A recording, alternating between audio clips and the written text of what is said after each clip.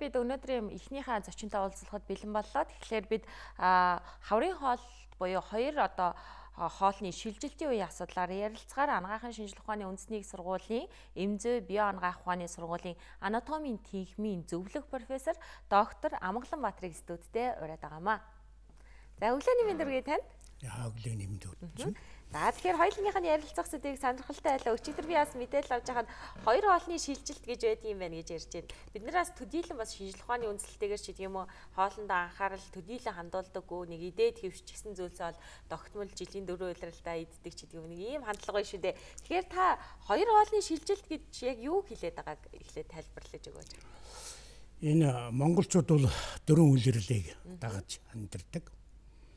Аа 6 сараас ахгуулаад 11 сар хүртэл дандаа сүүсүүн бүтээгдэхүүн дамгайсан хоолоор хоололдог. Өөргөл цагаан хоол юм да. А 11 сараас бүр жилээ тойроод 5 6 сар хүртэл баг махан хоолоор хоололдог. Ийм хоёр хоолны дэглэмтэй улсал да. За зүгээр хот хүрээ газар бол энэ баг алдагдж явах шиг байна л да зүгээр. Монгол орны нутгийн ихэнхийг эзэлсэн малчин ардууд бусдууд нь бас л энэ хоолны хэлбэр хэвээрээ л байгаа. Тэгэхээр хүний бие махбодын хоол улсруулах тогтолцоо гэдэг бол нэг 10 м уртаа ийм бүтцэлтэй. Энэ тэгээд махан хоолны үед яаж үйл ажиллагааны явагддаг цагаан сүүс хүн бүтээгдэхүүний хооллолтын үед ямар үйл ажиллагаа байдаг гэдгийг бол одоо зах тухаас нусгад мэдэх бах. Тэгэхээр хавар цагт одоо мал хань ургалж одоо ингээд эдээ цагаа дэлгэрч байгаа энэ үед Монгол хүмүүс бол ерөөсөө махан хоолноосоо цагаан хоол руу шилждэг. Цагаан хоолны шилжилт ер нь хэр оддог бол за би сонсч байсан Чингис хааны үед ч гэсэн дайчид баатрууд хүртэл бас яг л энэ хоолны дэглэмийг бас баримталж явдаг байсан гэж бас зарим одоо хоол судлаачид ярьдаг юм байлээ л дээ. Тэгэхээр цагаан хоол яг ялангуяа энэ цагаан хоол руу шилждэг үедээ хэр хугацаанд одоо бас энэ хоолоо идэх үү гэдэг дээр тас за идэхтэй бас юу одоо голчлон хүнсэндээ хэрэглэх ёстой байдгийг За тэгэхээр махан хоодны цагаан хоол руу шилжиж гэхээр чинь хөвчлэн манай хүмүүст бол сүү хөөрүүлэл бог молын ч бод молын ч сүү хөөрүүлэл тосын аваад хайлм гэж хэлдэг манай нутгууд бол одоо тос гэж хэлдэг юм байна. Тэрнийг байлгаж идэн за тэгээд гол нь тарг үрээ тарга иддэг юм л ойлбор байл те. Тэгэхээр монголчууд бол яг энэ бол нэг мал бог мал бол бүр төлөлөө дуусж байгаа. Бод малууд нь эхэлж байгаа нэг яг ийм үед бол нэг сургасан байдгийг. Тэр сургаал нь ямар сургаал байх вэ гэхээр ерөөсөө яг ингэ хоолны шилжилтийн үед бол хайлм гэхээр идэж болохгүй хоньны сүгээр бүрсэн тарг их идэж болохгүй аа гэж нэг иймэрхүү хоёр хувилбарын тухай ярьд юм л да. Яа юм бол. За тэр учрыг нь бол одоо манай ардын булдэгдэг гэл одоо тэрнийг барил явдаг. За би мэрэгжлийн хүний хувьд бол яагаад ингэдэг гэдэг учрыг л одоо ярилцъя л да. Аа.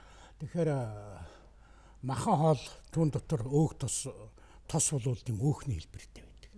Тэгэхээр хотоодонд ороод өөхний хэлбэрээсээ тосны хэлбэр жилжээд тосны хэлбэрээсээ цаашаа нарийн гидсний ихний хэсэгт тийм эмүүлс май тосны хэлбэр нь эмүүлс маягтай болоод тэгээд нойр улчраа шүүснээ нөлөөндөө өөхөл бол гэлцрийн өөхний хүчил фосфорын хүчний үлдэгдэл гэсэн гурван нэгдэл бол задардаг юм л да.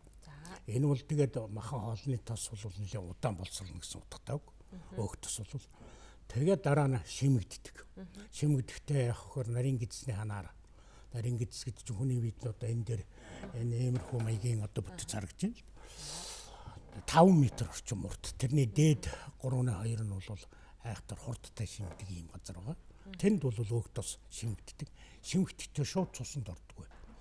Аа ерөөсөө цусны судасны хялгасан судасны хажуудалд тунгалгын хялгасан судас гэж байдаг. Тэрлүү шимэгдээд гуруула яг тунгалган судсан дотор эргэж уулзаад тэгээд өөх болчдөг. Өөрөө тос болчдөг. Тэгээд тос болоод тунгалган судсаар яваад цусаар орлого явсаар байгаад одоо ойролцоогоор энэ биднээс энэ нийгмийн орчинд хүний баруун зүүн хэсгийн венийн цуснууд нийлж нэг том судас болдог. Тэр л удаа араас нь цутгадаг.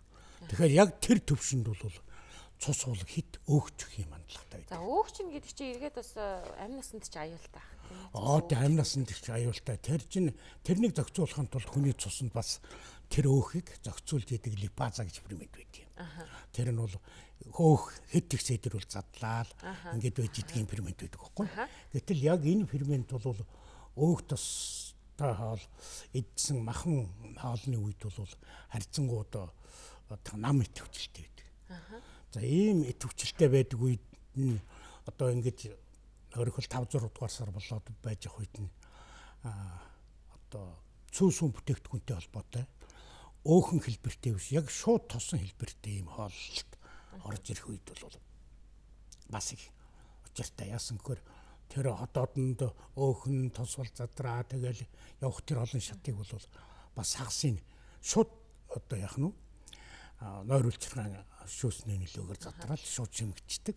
Тэгэхээр өөрөөр хэл юу гэсэн үг вэхээр цагаан хоолны өө тос бол маш хурдан шимэгдэг гэсэн байна. Аа тэгэхээр цагаан хоол гэхлээр та одоо жишээ нь э, эмэгтэй эрэгтэй хүмүүсийн хувьд одоо ялангуяа эрүүл мэндэд нэлээд анхаардаг хүмүүс бас тодорхой хэмжээнд анхаард махныхаа хэрэглээг багасгаж байгаа хэл та. А гэхдээ яг ямар их одоо хүнсний бүтээгдэхүүнүүд тухайлбал юу юуг одоо энэ үед хэрэглүүл илүү их хэрэгтэй байдгийг гэдэг дээр зөвлөгөө өгөөч. Би бол жишээ нь одоо байнга тараг удаг, ааруул иддэг. Ааруулыг одоо усан дэвтэж байгаа шүүсийг уудаг л та.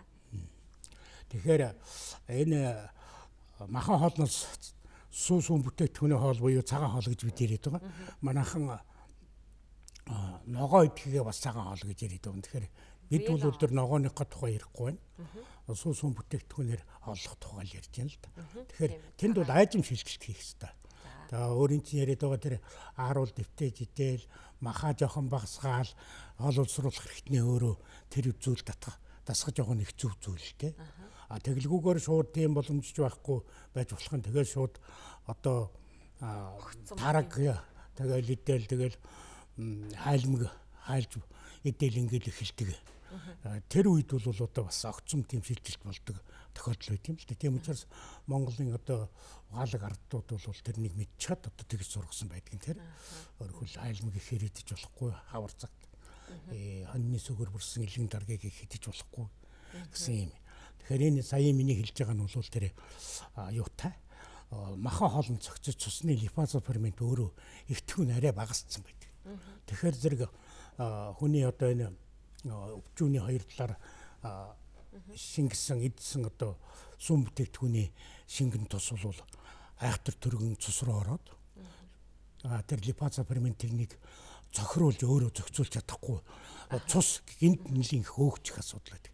Цус гинт нэлийн хөөгчнө гэдэг чинь яг энэ зүрхний орчимд цуцгаж байгаа болохоор гарсан зүрхнээс агшаад гарсан цус бол хамгийн түрүүн тарихынд очино, уушхинд очино, зүрхэнд өөртөө очдог. Тэгэхээр цус хэтэрхий өөхчөд ирэхээр зэрэг яг хөх зэргийн чухал эрхтнүүдийн эсийн төвшөнд тэр агарын солилцоо гэдэг юм хин солилцоо их хаагдчихдаг.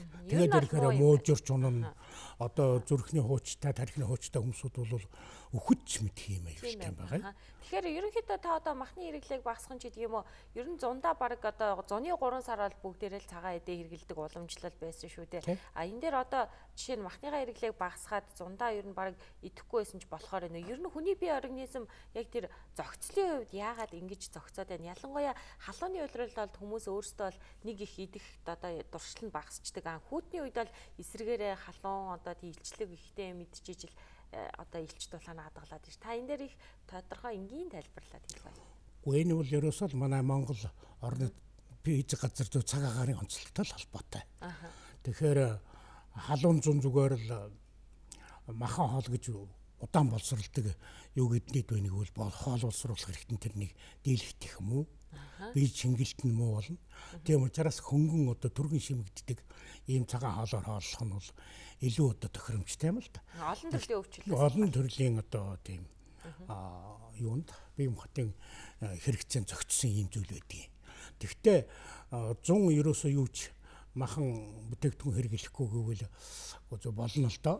Тэгтээ бол бид ямар баг байгаагүйш. Тэгээд одоо зөндөл 100 махсаал тэр байтгаа борц морцоор хоол хийхэд бол 7 хоногтоо нэгч үед юм уу тэгж хоол хийж идэхэд бол сайхан л байдаг. Энэ ч бас нэг онцлог л доо. Тэгэхээр хоёр хоол тий. Хоёр хоолны бие рүү шилжихэд бол бие махбод өөрөө тэр махан хоолноос сум бүтээгдэхүүний хоолнд шилжихэд бие махбод өөрийг нэг цэвэрлж авдаг. Аа цагаан хоолноос юунд махан хоолнд шилжихэд бас нэг өөрийнхөө юунд тохирсон уруулыг гаргадаг. Тэгэхээр өвөл бол тийм хүнд болсордог. Тэгээ шатлалтанд өлөмж оролцох хэвээр тийм хүнд хоолойг өвөл идэж. Зум бол одоо сүү сүү бүтээгдэхүүн гаралтай хоолыг идэх нь бол хамаагүй э, ашигтай. Тийм ч учраас одоо монголчууд бол заавал зум бол хонь манай алал хагттаал тэгэл идээд байхгүй л те зүгээр хот хүрээ дамжирч байгаа бидэнд бол тэр дэглэм бол алдагдсан л да. Тэг одоо Тэгэхээр биднээс дэглэмээ эргэж харах хэрэгтэй юм байна тийм ээ. Дэглэмээ эргэж харах. Бие махад одоо хүн нэг өвөл зоны машинд одоо дугууга өвөл зоны дугуй сольдог шүү дээ машинд. Яг тэрнтэй адилхан хоолоо зохицуулах. хоолоо зохицуулах хэрэгтэй. За баярлалаа танд. Манай ярилцах цаг маань их богинохон байлаа. Их сонирхолтой мэдээлэл хүргэлээ та. Дараас магадгүй таныг ураадаас өргөжлүүлж ярих боллоо. Баярлалаа.